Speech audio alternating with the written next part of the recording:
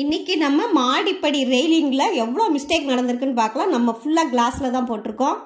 இங்கே பாருங்கள் சரியான அளவு எடுத்து அவங்க கொடுக்காதனால எவ்வளோ கேப் விழுந்திருக்கு பாருங்கள் இங்கே பாருங்கள் ஸ்ட்ரைட்டாக வர்ற கிளாஸில் கூட இங்கிட்டு ஒரு இன்ச்சு அங்கிட்டு கால் இன்ச்சு கேப்பு இந்த சொந்தக்காரன் தெரிஞ்சவன் அறிஞ்சவன் இவங்களுக்கு வந்து நம்ம வேலையை கொடுக்கக்கூடாது முன்னாடியே அரி அரின்னு அரிச்சு காசையும் வாங்கிடுறாங்க. வேலை ஒழுங்காகவே பார்க்கறதில்ல. இங்கே பாருங்கள் நம்மளே பத்து வருஷம் பதினஞ்சு வருஷம்னு கொஞ்சம் கொஞ்சமாக சேர்த்து வச்சு ஒரு வீடு கட்டுறோம். அதையும் இது மாதிரி பண்ணாங்கன்னா நமக்கு மனசு ரொம்ப கஷ்டமாக இருக்குது இதிலலாம் பாருங்கள் கிளாஸ் எப்படி இருக்குது பாருங்கள் சைடாக இதில் போஸ்ட் எப்படி நிப்பாட்டுவாங்கன்னே தெரியல. இங்கிட்டு இருந்து ஒரு கிளாஸ் வருது அங்கிட்டு இருந்து ஒரு கிளாஸ் வருது. அது மாடிப்படிக்கு போகிறது இப்போ நம்ம கடகடன் கீழே இறங்கிடலாம். அது சாதாரண கிளாஸை கட் பண்ணி அதில் ஒட்டி தரேன்னு சொல்கிறாங்க அது எப்படின்றத அடுத்த வீடியோவில் பார்ப்போம். இங்கே பாருங்கள் சைடில் வச்சு மோல்டு பண்ணியிருக்காங்க பாருங்கள் அதில் எவ்வளோ பெரிய கேப் பாருங்கள் முட்டாள் மாதிரி வேலை பார்த்துருக்காங்க பாருங்கள் எவ்வளோ மனசு கஷ்டமாக இருக்குது அடுத்த வீடியோவில் இதில் எப்படி சரி பண்ணுறாங்கன்றதை பார்ப்போம். தேங்க்